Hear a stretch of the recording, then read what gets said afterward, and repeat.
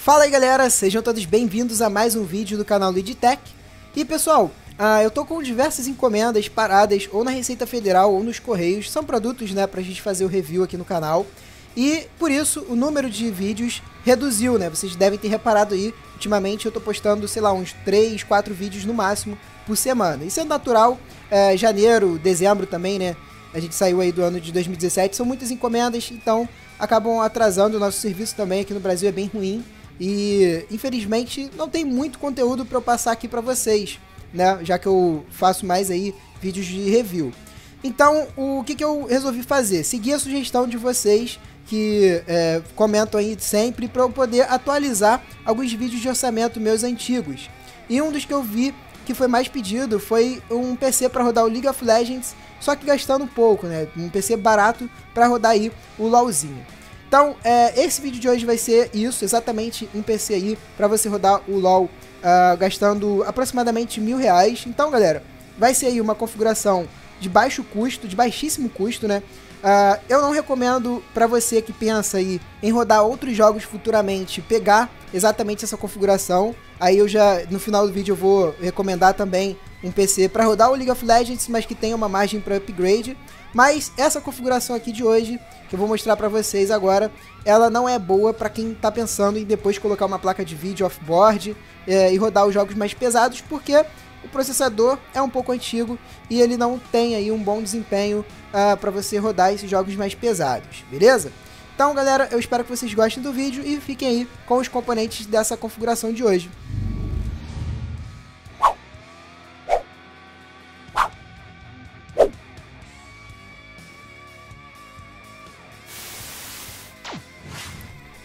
Então, rapaziada, começando aqui com o processador, essa configuração ela vai ser baseada na plataforma APU da AMD. Para quem não sabe o que é uma APU, uma explicação rápida, seria basicamente um processador que já vem com um chip gráfico integrado. No caso aqui, eu optei pelo A6 7400K, que é um processador relativamente antigo até, ele é da família Kaveri. É um dual-core, processador bem de entrada, tem ali um desempenho abaixo até do que um FX 4300, falando do processador, né? Uh, o socket dele é o FM2+, então você vai precisar aí ter uma placa-mãe compatível com ele. O clock base é de 3.5 GHz com um tubozinho para 3.9. Litografia de 28 nanômetros, TDP de 65 watts e aqui tá o detalhe, né, que interessa pra gente. Ele tem uma GPU integrada que é uma Radeon R5. Ela tem um GPU clock de 758 MHz e conta com 256 string processors. O que, que acontece, galera? Essa placa de vídeo vai nos permitir rodar alguns jogos. Claro, pessoal, não espere rodar um GTA V, que é um jogo bem pesado, tanto para o processador quanto para a placa de vídeo, é, numa APU dessa. Porém, para quem está querendo economizar ao máximo e está pensando exclusivamente no League of Legends, esse processador aqui, essa APU, vai conseguir garantir aí um desempenho satisfatório. Creio que ali pelo médio você vai conseguir é, os 60 frames cravados no LOLzinho. Uma informação que eu achei interessante de passar aqui para vocês, já que a gente está falando de APUs, é que recentemente teve a CES 2018 e a AMD divulgou a nova linha de APUs dela, com o codinome Raven Ridge. O bacana dessa nova linha é que elas vão contar aí com a arquitetura Ryzen para processadores e vai ter uma chip integrado gráfico da linha Vega, né, que é, são as novas placas de vídeo aí da AMD. Até o momento, a AMD divulgou dois modelos, acredito que não tenhamos mais, no caso, é o Ryzen 5 2400G e o Ryzen 3 2200G, que vai sair por 99 dólares, concorrendo diretamente com um i3, por exemplo, que lá fora é vendido a mais ou menos uns 115 dólares. Uh, eles até colocaram aí um teste, né, uma comparação na verdade, do Ryzen 5 2400G versus o i5 8400 com uma GT 1030. E segundo a AMD, eles tiveram aí a mesma pontuação no 3D Mark Time Spy. Voltando aqui com o processador da nossa configuração de hoje, a APU Raven Ridge fica para um próximo vídeo.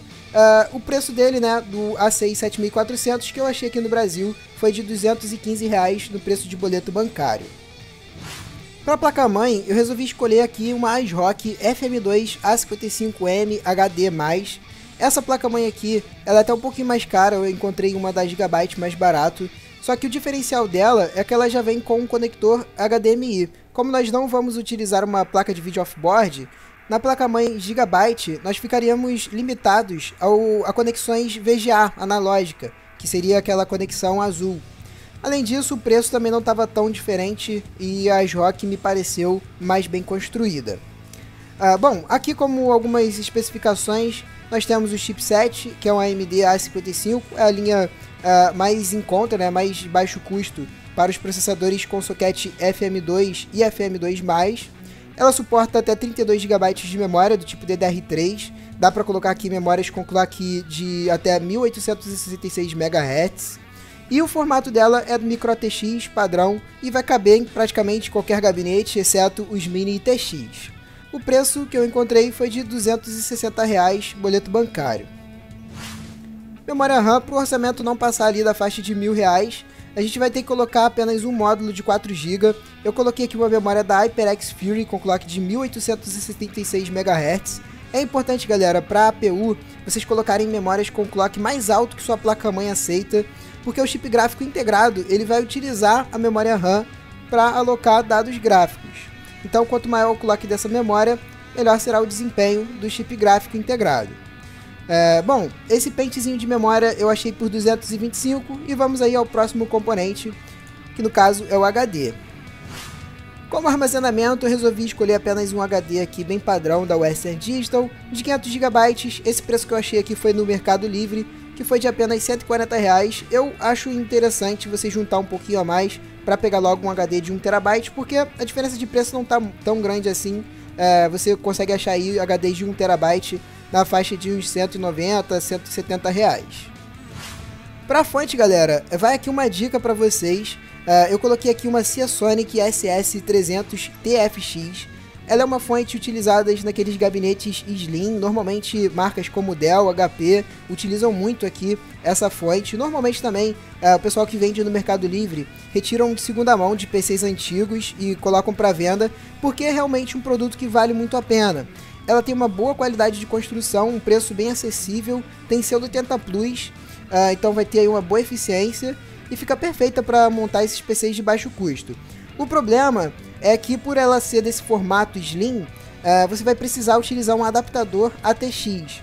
Eu achei um vendedor no Mercado Livre que essa fonte sai por 100 reais e ele já deixa com um adaptador para você colocar essa fonte em gabinetes micro ATX. É só vocês digitarem aí no Mercado Livre uh, se é Sonic de 300 watts que vocês vão ver aí diversos vendedores. É só achar o que vem com o suporte para fontes do tipo ATX também.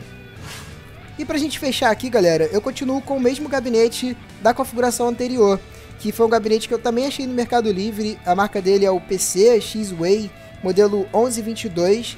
Ele é um gabinete bem convencional, padrão ATX, né, com fonte na parte superior, mas é, ele tem poucas bays de HDs, então se caso você quiser aí modificar o PC e colocar uma placa de vídeo, vai dar para fazer. Ele também tem alguns, algumas passagens né, para você colocar os cabos da fonte, caso você queira fazer uma organização de cabos. E também é bem barato, custaria 80 reais. E gabinete não vai mudar né, o desempenho da máquina em si, mas em relação à refrigeração. E inclusive esse gabinete dá para colocar um fã na parte frontal, uh, se não me engano, de até 120 mm, fora um atrás uh, de 80 mm. Bom, rapaziada, concluindo aqui, nós temos o preço final. Eu deixo também uma lista com todos os componentes, basicamente é um resumo que eu faço aqui de todos os orçamentos. Uh, essa configuração em específico ficou por um preço total de R$ 1.020, bem barato mesmo, aproximadamente os R$ reais. Claro, galera, pode variar aí conforme a data, o preço, né? E também uh, a loja que você for comprar, tem também a questão do frete. Mas é uma configuração bastante de entrada, Pro objetivo dela, que é rodar o League of Legends, creio que ela vai fazer muito bem, vai conseguir rodar aí a 60 frames, pelo menos com gráficos no médio em Full HD, mas você vai ficar bem limitado quanto a upgrades. Dá até para melhorar essa máquina, mas eu não recomendo muito, porque já é uma plataforma antiga. Por isso, eu deixei aqui uma alternativa que eu recomendo fortemente, que é basicamente trocar o kit placa-mãe, processador e memória para um G4560, H110 e uma memóriazinha de 4 GB DDR4. Fazendo essas alterações, é, o PC vai sair por aproximadamente R$ 1.260. Você já vai conseguir rodar o League of Legends com uma condição gráfica parecida, já que o G4560 tem também um chip gráfico integrado, um pouco inferior ao do A6 7400K, porém consegue sim rodar o League of Legends. Eu mesmo já fiz um, um teste dele e vou estar tá deixando nos cards para quem quiser assistir. Galera, encerramos por aqui mais um vídeo, eu espero que vocês tenham gostado. Se você gostou, não esquece de deixar o like aqui embaixo, isso pode ajudar aí na divulgação do vídeo. Uh, também não se esquece de se inscrever, se caso você não for inscrito ainda. E tem aí na descrição do vídeo o grupo do canal no Facebook. Se você tiver alguma dúvida, você pode acessar aí uh, o grupo, entrar lá, que os membros do grupo vão tentar aí, é, resolver a dúvida, beleza? Então é isso, galera. Um grande abraço a todos. Até o próximo vídeo. Valeu e fui!